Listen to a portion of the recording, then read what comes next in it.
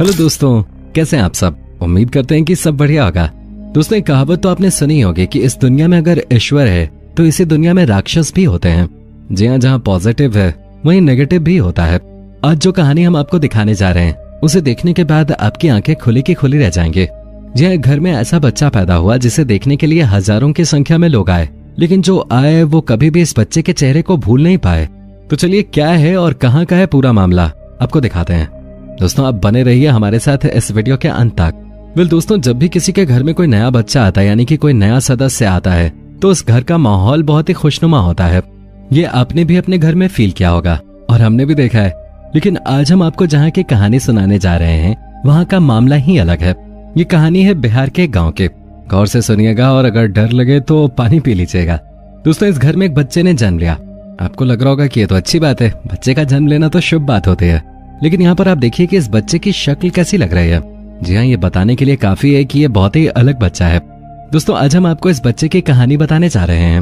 आप देख सकते हैं कि ये बच्चा कितना अलग दिखता है। ये अभी से ही कितना बड़ा दिखने लगा है। इसके चेहरे को आप जरा ध्यान से देखिए। वाकई में ये बहुत ही डरावना दिख रहा है। लेकिन आपको बता दें कि इस बच्चे की मौत हो चुकी है। दोस्तों, जिस दिन ये बच्चा पैदा हुआ, उसके तीन दिन बाद ही इस बच्चे की मौत हो गई। कहते हैं कि इस बच्चे को देखने के लिए हज़ारों की संख्या में लोग आते थे। सबको लगता था कि वाकई में ये बच्चा अलग ही देखता है। दोस्तों, आसपास के गाँव में ये बात फैल गई। इतना ही नहीं, सबने इस बच्चे को शैतान का बच्चा भी कहना शुरू कर दिया। वाकई में इस बच्चे को देखकर कोई भी डर जाएगा। लेकिन आप देखिए कि यहाँ पर कैसे ये बच्चा सबको देख रहा है। लेकिन कहानी की शुरुआत इस बच्चे के मरने के बाद शुरू हुई। दोस्तों, माना जाता है कि जब इस बच्चे की मौत हुई, उसके बाद से इसने इस गाँव में तांडव मचाना शुरू कर दिया। जी हाँ अमावस की रात इस बच्चे की मौत हुई और उसके बाद से इस शैतान के बच्चे ने सबको परेशान करना शुरू कर दिया। दोस्तों, कई सारे लोग आए इस बच्चे की आत्मा को शांत करने के लिए, लेकिन आज तक परिणाम अच्छा नहीं निकला। माना जाता है कि ये बच्चा आज भी कई जगहों पे आता है। जी हाँ मरे हुए बच्चे की आत्मा यहाँ के स्थानीय लोगों ने कई बार देखी है। कहते हैं कि ये बच्चा मरने के बाद भी सबको परेशान कर रहा है। इस घर की महिला की बात सुने तो ये कहती है कि बच्चा कई बार इनके घर के अंदर आ जाता है और उसके बाद इन लोगों को परेशान करता है। इतना ही नहीं, ये महिला कहती है कि ये बच्चा कई बार इनका गला भी दबाने की कोशिश करता है। रात में जब पूरी दुनिया सोती है, तभी इस बच्चे की आत्मा आकर घर के सारे सामान को फेंकने लगती है। वाकई में ये चीज़ें सुन के ही डर लगने लगता है। दोस्तों, आप यहाँ पर देख सकते हैं कि कैसे कुछ लोग इस बच्चे को ढूँढने के लिए निकले हैं। जी हाँ यहाँ देखिए कि कैसे बच्चे के रोने की आवाज़ आ रही है। कहते हैं कि जब किसी बच्चे की रोने की आवाज़ आपको जंगल से आए तो संकेत अच्छे नहीं होते हैं। ये देखिए, इन्हें कुछ दिख रहा है। ये उस आवाज़ का पीछा करते हुए नीचे उतर आते हैं। दोस्तों, यहाँ देखिए कि कैसे इस बच्चे की आवाज़ को सुनते हुए ये उस आत्मा को ढूँढने के लिए निकले हैं। वाकई में डरावनी कहानी है। ये देखिए कि कैसे यहाँ पर बार बार बच्चे के रोने की आवाज़ आ रही है। लेकिन जब ये कुछ लोग उस आवाज़ के पीछे पीछे चलने लग जाते हैं तो उसके बाद जो इन्हें दिखता है, वो वाकई डरावना है। दोस्तों, ये देखिए कैसे यहाँ पर बच्चे की आत्मा देखती है। जी हाँ क्या आपने देखा? ये देखिए कैसे इस बच्चे के पास बड़े बड़े बाल हैं। क्या वाकई में ये वही बच्चा है जो कि शैतान बन के आया था और मर गया?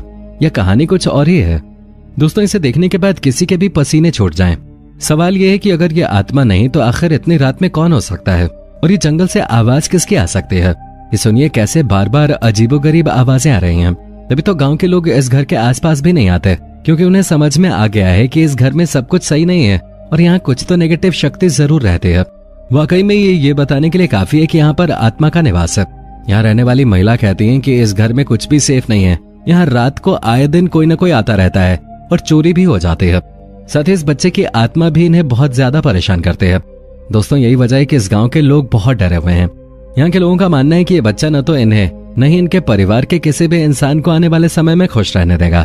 कहा यहाँ तक जा रहा है कि ये बच्चा इतना खतरनाक है कि लोगों को डरा डरा कर ये जान ले लेता है। अब सोचिए कि अगर ये बात सच है तो वाकई में आज के जमाने में भी भूत एग्जिस्ट करते हैं। यहाँ जो भी हमने देखा है, उसे देखने के बाद तो हम कह ही सकते हैं कि भाई, आज हम सबके बीच कुछ ऐसी चीज़ें ज़रूर होती हैं, जो कि नॉर्मल नहीं है। शायद इसी को भूत कहते हैं। ये जो महिला डरी हुई है, आपको क्या लगता है कि बस ऐसे ही हवा में बातें कर रही है? इनको देखकर वाकई में लगता है कि इन्होंने बहुत तकलीफें झेली हैं। ये बार बार कहते हैं कि मुझे भी इस घर को छोड़ के जाना है। जानते क्यों? क्योंकि ये बहुत बुरी तरह से डर गए हैं। अगर ये डरी नहीं होती तो भला अपने घर को छोड़ने की बात कोई क्यों ही करता? लेकिन बड़ा सवाल ये है कि आखिर क्या वाकई में मरने के बाद आत्मा ज़िंदा रहती है? क्या वाकई में आत्मा आपको परेशान कर सकते हैं? आइए जानने की कोशिश करते हैं कि क्या वाकई में भूत होते हैं। डर या भय इसका सामना हर इंसान करता है। क्या वाकई कोई चीज़ हमें डराना चाहती है या फिर मस्तिष्क भ्रम पैदा कर हमें असुरक्षित महसूस कराता है? असाधारण घटनाओं का वैज्ञानिक अध्ययन करने वाली पैरासाइकोलॉजी इसी डर का जवाब खोजने की कोशिश कर रही है।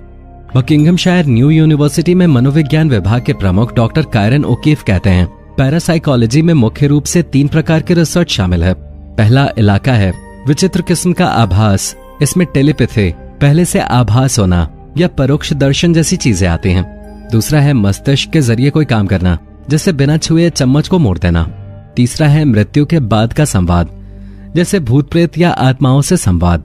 असाधारण घटनाक्रम से जुड़े मनोविज्ञान को समझने के लिए वैज्ञानिक न्यूरोसाइंस की भी मदद ले रहे हैं। असामान्य परिस्थितियों में कई बार हमारी आँखें अलग ढंग से व्यवहार करती हैं। कम रोशनी में आँखों की रेटिनल रॉड कोशिकाएँ सक्रिय हो जाती हैं और हल्का मुड़ा हुआ सा नज़ारा दिखता है। डॉक्टर ओकीफ के मुताबिक, आँख की पुतली को बेहद कोने में पहुंचाकर अगर हम आखिरी छोर से कोई मूवमेंट देखें तो बहुत साफ़ नहीं दिखता है। डिटेल भी नज़र नहीं आते हैं। सिर्फ़ काला और सफ़ेद ही दिखाई देता है। इसका मतलब साफ़ है कि रॉड कोशिकाएँ रंग नहीं देख पा रही हैं। हो सकता है कि ऐसी परिस्थितियों में हमारा मस्तिष्क सूचना के अभाव को भरने की कोशिश करता हो। दिमाग उस सूचना को किसी तार्किक जानकारी में बदलने की कोशिश करता है। हमें ऐसा लगने लगता है जैसे हमने कुछ विचित्र देखा है। तर्क के आधार पर हमें लगता है कि शायद कोई भूत है।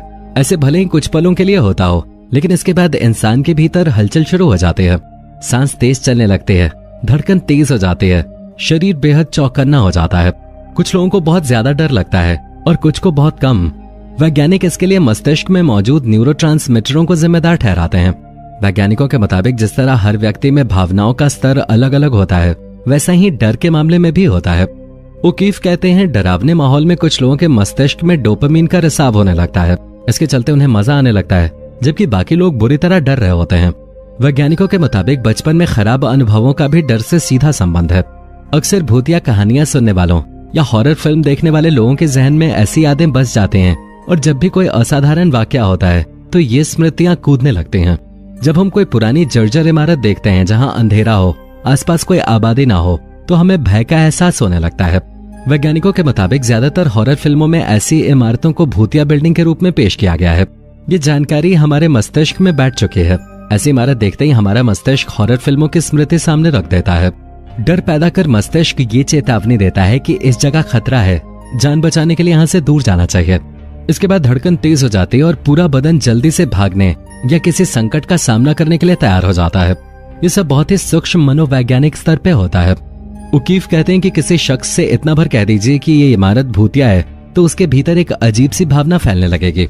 उसके बाद उस इमारत में जो कुछ भी सामान्य ढंग से घटेगा, वो डरावना महसूस होने लगेगा। लेकिन क्या भूत होते हैं? इसके जवाब में ओकीफ कहते हैं कि कल्पना और भूतों पर विश्वास या विचित्र परिस्थितियाँ इनके संयोग से ऐसा आभास होता है कि जैसे हमारे अलावा कोई और भी है, जबकि असल में कोई और होता ही नहीं है। लेकिन किसी चीज़ को बिना छुए उसमें हलचल कर देना, या फिर पूर्वाभास, या टेलीपैथी जैसे वाक्य अब भी साइंस को हैरान कर रहे हैं। ओकीफ जानते हैं कि मस्तिष्क की कुछ विलक्षण शक्तियाँ अब भी विज्ञान के दायरे से कोसों दूर हैं। दोस्तों, आपको ये वीडियो कैसी लगी, आप हमें कमेंट करके ज़रूर बताइएगा। वीडियो को लाइक और चैनल को सब्सक्राइब भी ज़रूर कर लें।